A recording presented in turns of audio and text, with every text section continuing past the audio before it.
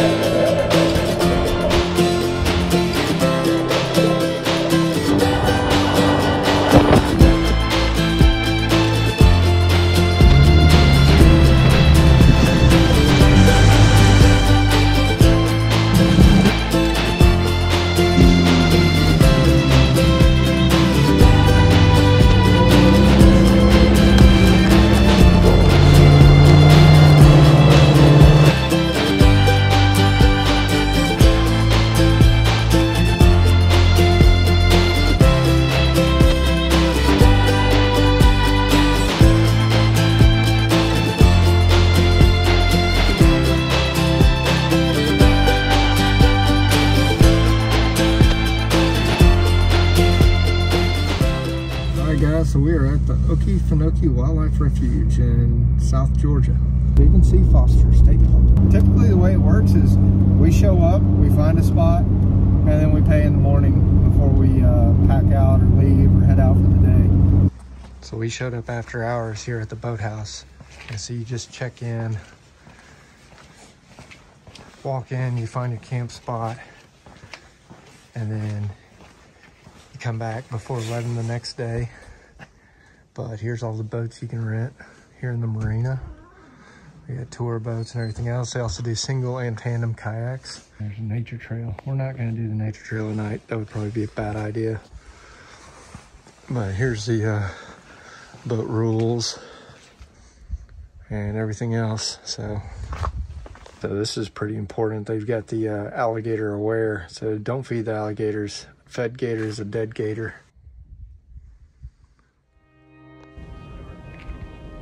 There's the net moon. It's at 99.4%. This way, there's rise belt. So they've got a lot of campsites here, 1 through 26. So when we uh, come to these campgrounds late at night, it's always an adventure to find a good campsite. And there's one right there, unoccupied.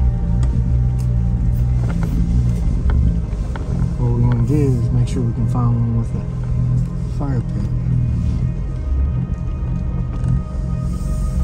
Two's taken.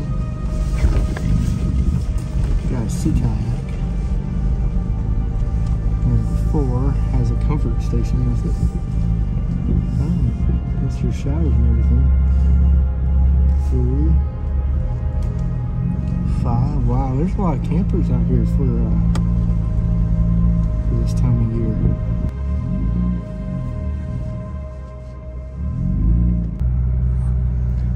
This is one thing I love about the Rubicon. It tells you your pitch and roll. And with the uh, tent on the back, everything's pretty much level. So we should be good here. So here's the camp setup. New rack. We got the uh, pop-up uh, bathroom if we need it. Got a cooler. Oh, here's a fire pit right here. So set up camp real quick.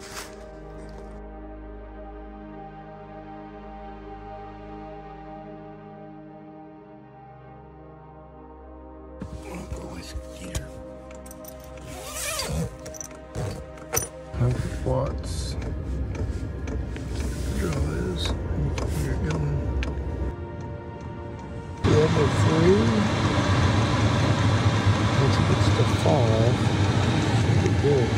Level four.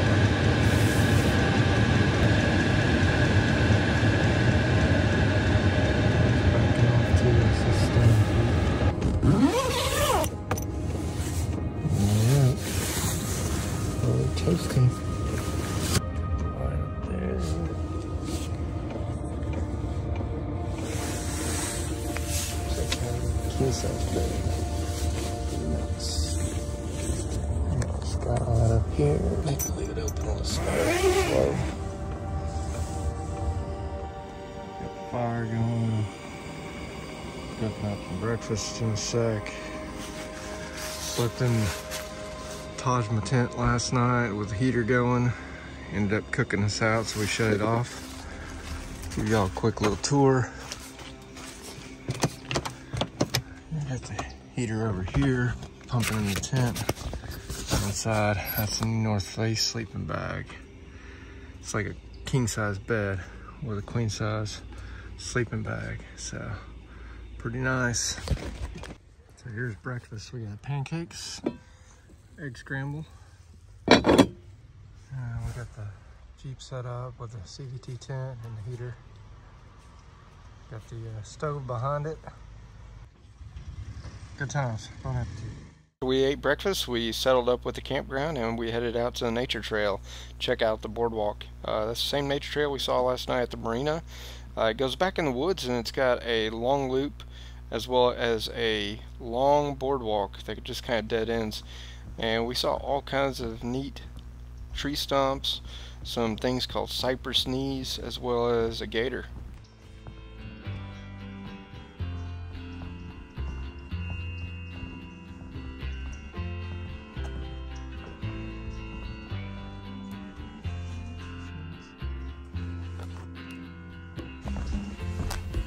Haven't been to Okefenokee Swamp in about 20 years.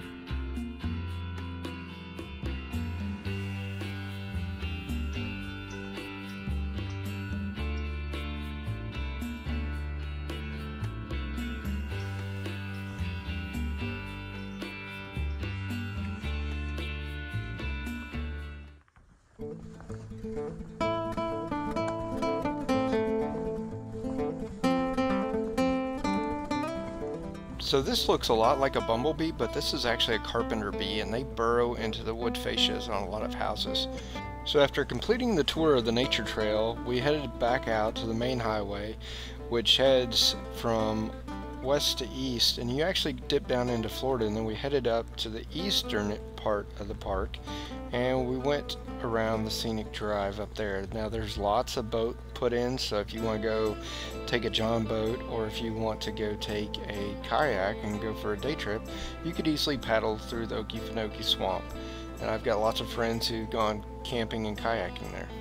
We saw this gator, and he was actually tagged, as well as several turtles on the scenic drive.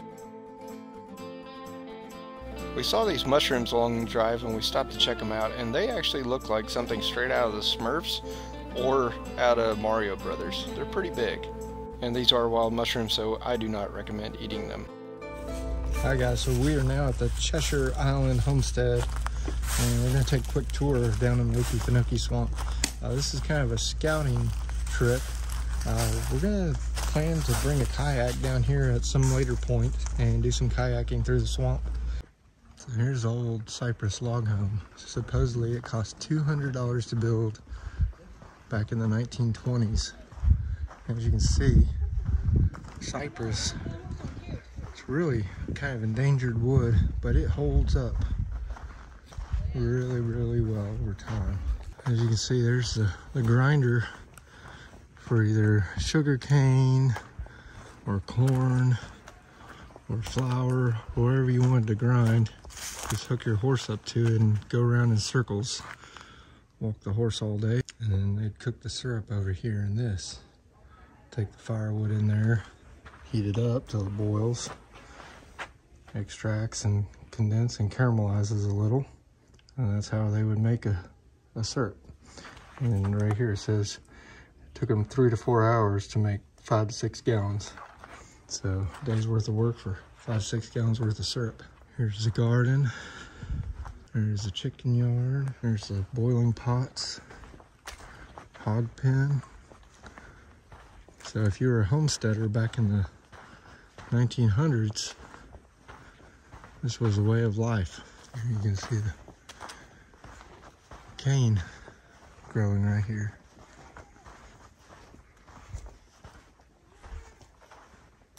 Pretty neat. So when it came to your meats, they would hang the meat up here in the smokehouse, light a fire. And it still smells smoky, but they would smoke the meat. And that's how they would take and preserve it. So that's why you got a lot of country ham, smoked ham, things like that. Over here is a storage shed where you would pickle all your food for the winter. Course, it's 70 in February, so you didn't have to have anything major. There's no telling how long that stuff's been pickled, left on the shelf for. I bet you you could open it up and eat it. That's pretty neat. Yeah, some of this is newer, but some of these are definitely older. Those old ball containers right there. Mason jars. Atlas mason jars. All kinds of stuff. What is this one down here? Yeah, at that long mason jar. Old jars in there. Pretty neat. Pretty neat stuff. So here's their hollow log well here. This one here, of course, has been capped off. But ideally, you could take a hollow log, sit, put it way down in the ground, dig out the sand, and then the water would percolate into the well. That and one of the best filters you can use is a sand filter. And there's a grinding stone if you need to sharpen your axe. Pretty neat stuff. Old homestead. Look at this. It's beautiful. Heart of cypress. Here's bathtub. Right here, cleaned up from working all day. Old clawfoot tub. Now, if you're worried about invaders, you live in the swamp. That's what you can find outside your house. It's a big stink bug right there. They'll scream at you if you get too close. Ever seen the movie Starship Troopers? It's like the big bugs. Except here's the size of my hand compared to that bug. Thing's huge. Well, they had a Photo on the wall. Cool. Yeah. And the stove in the back. We're gonna go check out the last part of the house. So those are gourds. I don't know if you've ever seen a gourd before. A lot of people may have. But they're grown. They're in the squash family. I believe those are actually fake. Yeah, you can see those are fake. But you take a gourd, you hollow it out, you drill a hole in it, and you can use it as a bird feeder. But those are definitely uh, not original gourds because somebody's uh, put those together. And here's a corn crib. There's a little buggy over here, so if you need to go to town, hook up the mules, go see the neighbor. Drive the buggy out there.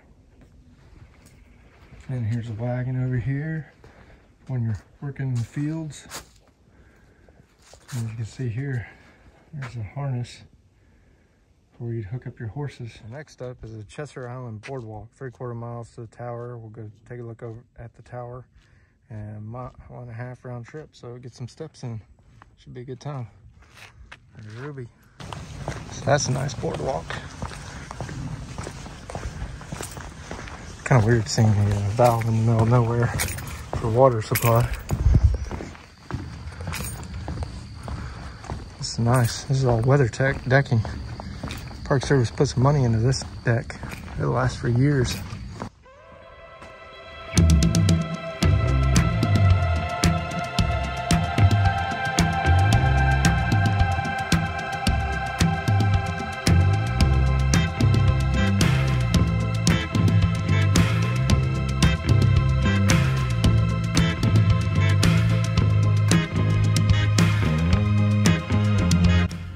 Wrong, but these are some of those carnivorous plants, I believe.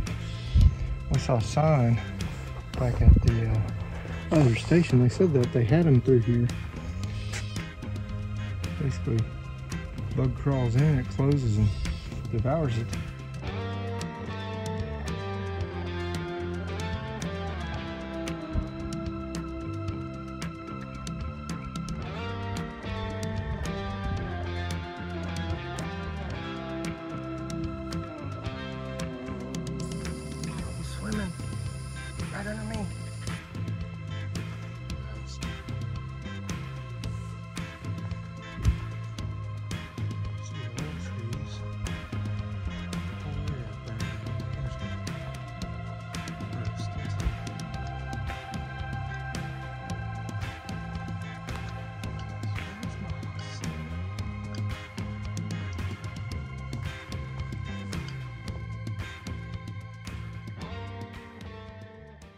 All right, let's go to the top here. Four levels.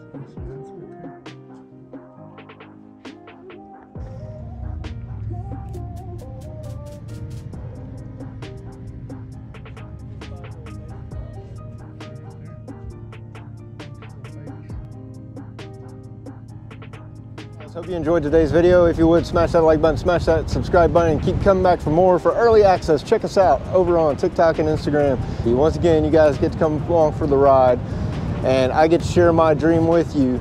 The true purpose of this channel help motivate, inspire, and inform you guys so you can get out there and start building your dream.